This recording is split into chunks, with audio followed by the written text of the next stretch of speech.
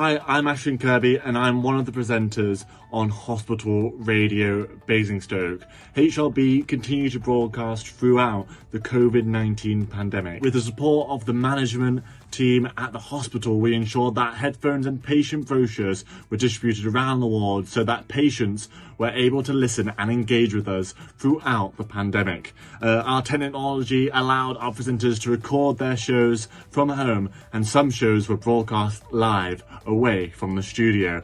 We would like to thank the nursing teams for supporting us throughout the pandemic by collecting requests from patients and getting involved with us.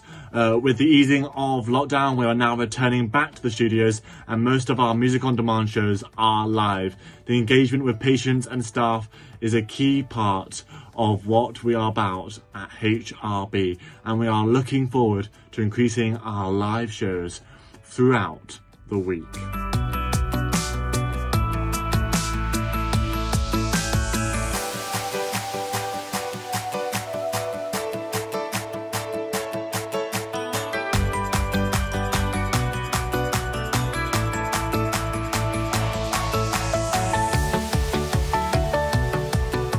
My name is Alison.